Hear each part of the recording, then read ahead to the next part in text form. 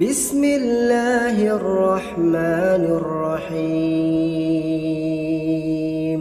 والمحصنات من النساء إلا ما ملكت أيمانكم كتاب الله عليكم وأحل لكم ما وراء ذلكم أن تبتغوا بأموالكم محصنين غير مسافحين فما استمتعتم به منهن فآتوهن أجورهن فريضة ولا جناح عليكم فيما تراضيتم الفريضة إن الله كان عليما حكيما.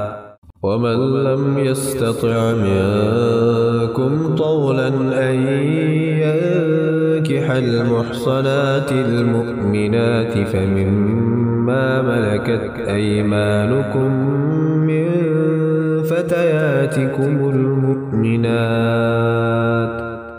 والله أعلم بإيمانكم. بعضكم من بعض.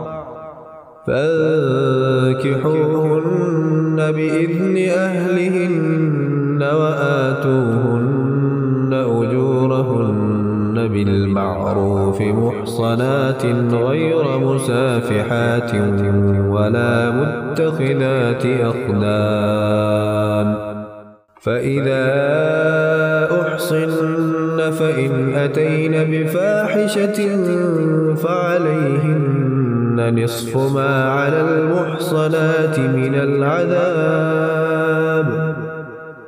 ذلك لمن خشي العنة منكم وأن تصبروا خير لكم. والله غفور رحيم. آیت چوبیس اور حرام ہیں شوہردار عورتیں مگر کافروں کی عورتیں جو تمہاری ملک میں آ جائیں یہ اللہ کا نوشتہ ہے۔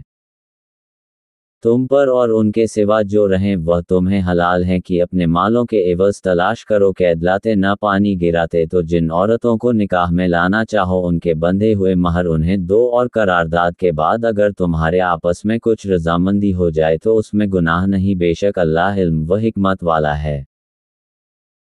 آیت پچیس، اور تم میں بے مقدوری کے باعث جن کے نکاح میں آزاد عورتیں ایمان والیاں نہ ہوں تو ان سے نکاح کرے جو تمہارے ہاتھ کی ملک ہیں ایمان والی کنیزیں، اور اللہ تمہارے ایمان کو خوب جانتا ہے۔ تم میں ایک دوسرے سے ہے تو ان سے نکاح کرو، ان کے مالکوں کی اجازت سے، اور حسب دستور ان کے مہر انہیں دو قید میں آتیاں نہ مستی نکالتی اور نہ یار بناتی۔ جب وہ قید میں آ جائیں، پھر برا کام کریں تو ان پر اس سزا کی آدھی ہے جو آزاد عورتوں پر ہے۔ یہ اس کے لیے جسے تم میں سے زنا کا اندیشہ ہے اور صبر کرنا تمہارے لیے بہتر ہے اور اللہ بخشنے والا مہربان ہے۔